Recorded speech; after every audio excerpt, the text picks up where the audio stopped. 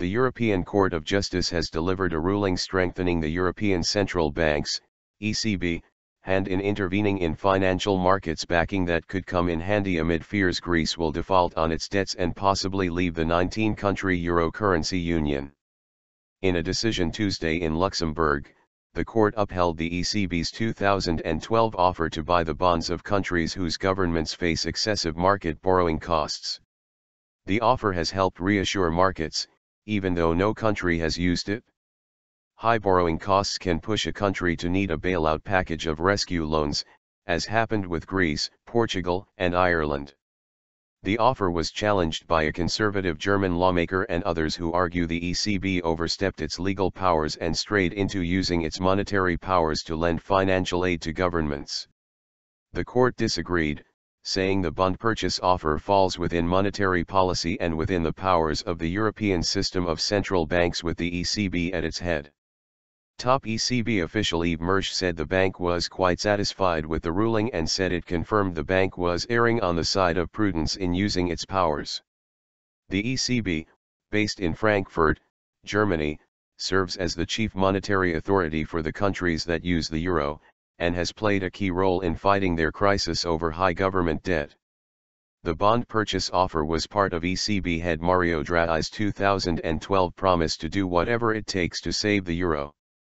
The bank has been constrained at times by a narrow legal mandate requiring it to fight inflation first, and only then look at stimulating growth and job creation. It has significantly expanded its role during the debt crisis, taking over banking supervision with the approval of EU governments and launching a broad program of monetary stimulus. Christoph Chalaste, professor of business and European law at the Frankfurt School of Finance and Management, said the decision bolstered the bank's legal freedom of action.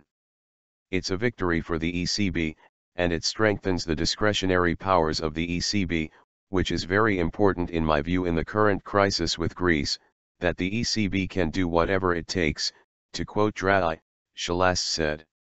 Eurozone governments are in difficult talks with Greece over the conditions under which Athens would get more bailout loans. While the talks drag on, the central bank has kept the Greek banking system going by permitting banks to draw emergency central bank credit.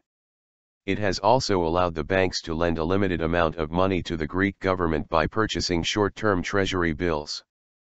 The ECB's decisions to continue such support is crucial. Analysts believe Draghi wants to give elected leaders every opportunity to cut a deal. If they can't, however, the bank could be in the position of deciding whether to pull the plug on Greece's finances.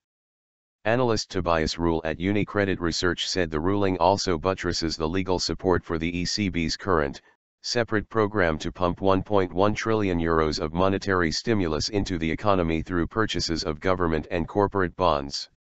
The practice is known as quantitative easing, or QE. He noted the decision placed no additional limits on what the bank can do in operating in financial markets, providing legal tailwind to the QE program, as well.